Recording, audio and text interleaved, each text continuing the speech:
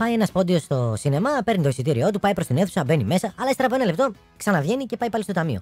Κόβει κι άλλο ένα εισιτήριο και πάει να μπει πάλι μέσα. Μπαίνει λοιπόν, έπειτα από ένα λεπτό όμως ξαναβγαίνει. Ε, πάει πάλι στο ταμείο και κόβει κι άλλο εισιτήριο. Το κοιτάζει περίεργο ταμείας, αλλά δεν λέει κουβέντα. Ύστερα από λίγο όμως ο πόντιος ξανάρχεται να κόψει κι άλλο εισιτήριο. Ο ταμείας δεν μιλάει, του κόβει το εισιτήριο, ξαναμπαίνει μέσα ο πόντιος. Μετά από λίγο ξανά βγαίνει, δώστε μου ένα εισιτήριο. Ταμεία έχει τρελαθεί, δεν αντέχει πια. Είναι περίεργος, λέει, τι γίνεται. Με συγχωρείτε κύριε, λέει. Εγώ να σας δώσω λέει, κι άλλο εισιτήριο, αλλά για πείτε μου, δεν τα λυπάστε τα λεφτά σας. Τα λυπάμαι, κυρία μου, αλλά τι να κάνω. Αφού με το που μπαίνω μέσα πετιέται μια βλαμμένη και μου το σκίζει.